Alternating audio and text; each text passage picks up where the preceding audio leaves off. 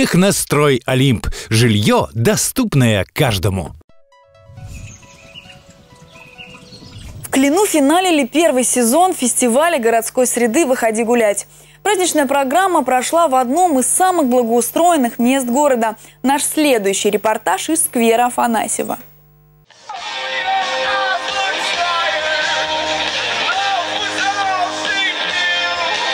Закрытие сезона, по сути, формальность. Фестиваль «Выходи гулять» получит свое продолжение, уверены организаторы. Инициатива совместных праздников на свежем воздухе «Гуляние всем городом» оказалась удачной. Ее поддержали около 10 тысяч клинчан. Хочется вот э, общения, потому что вот посмотришь на людей, детишки очень заняты, и поиграть, и по, повеселиться, и вообще просто, просто живем. Вот, просто живем.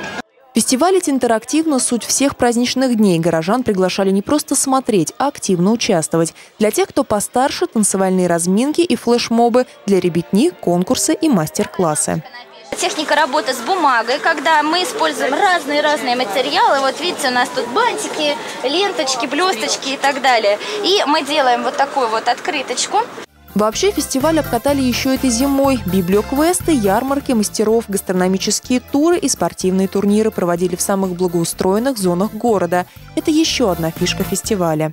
Это было все сделано для популяризации благоустроенных зон, которые были сделаны в течение 2017 года, а, для того, чтобы жители не просто получали комфортную среду, но и, соответственно, понимали, что эта комфортная среда, она а, дружелюбная, она доступная.